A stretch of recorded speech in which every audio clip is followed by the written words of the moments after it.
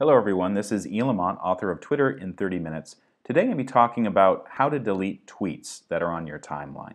This is a question that comes up quite a bit because people might tweet something or retweet something and then they decide later on they want to get rid of it for whatever reason. This is how you do it. So open up your Twitter app. This is the iOS Twitter app, but actually it's quite similar for Android devices as well.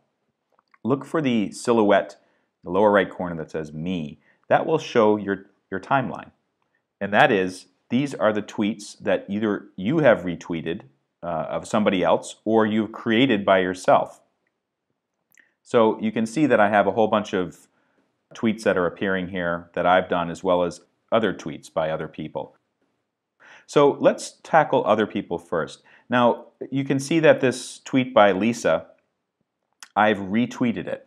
If you look right below it, you'll see a green number two with a retweet symbol. Those are the two arrows chasing each other. That means I've retweeted that earlier because it's green. And if I wanted to remove the fact that I retweeted it, all you need to do is tap that icon.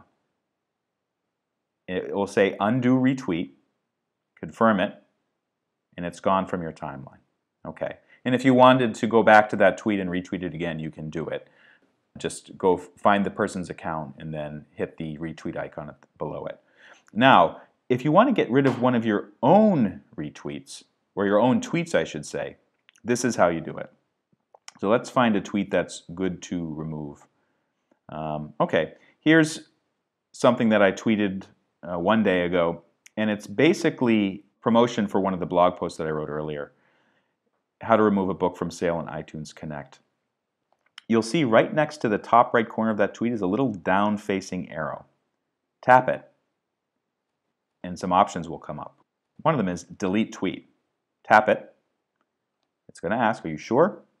Just tap delete and it's gone. And you could actually go through and delete a whole bunch of tweets that you've made.